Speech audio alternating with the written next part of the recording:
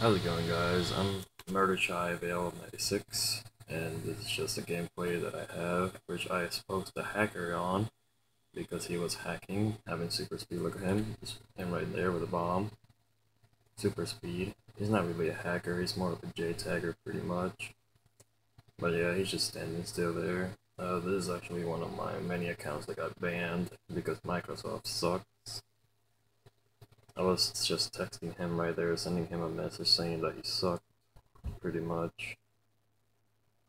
Um, I really do not appreciate people like this. I mean, I don't mind if you freaking, uh, I don't mind if you, like, cheat, but just, you know, do it on your own lobby where you don't affect people on matchmaking. Yeah, because people like to play this on matchmaking. That's what makes the game fun, you know. They make it fair.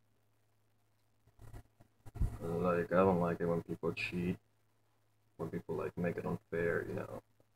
And a lot of people will be saying that, oh, you spawn trap and all this stuff, but spawn trapping is way different than uh, freaking cheating. So yeah, that's pretty much it. Look at him over there. You see him? Yeah, that's him running over there. Freaking super speeding, freaking vertical dash, dude. You freaking suck. That's right, you deserve to freaking get teabag, dude. Like seriously, dude. He comes at me like three times right here, straight ahead, and I still kill him. Just watch, look. One. That's one. I kill him like three times when he comes at me like that. He got me right there. Dude, like this guy pretty much sucks, and you know what is the thing that got me mad pretty much is that he had the guts he had the guts to copy my clan tag. I mean, not my clan tag, my gamer tag. And I'm, I'm thinking that's why I got banned, because when he copied my clan tag, I mean, not my clan, tag, my gamer tag, that's pretty much all the fire complaints going to my gamer tag instead of his. Which is total bullshit, man.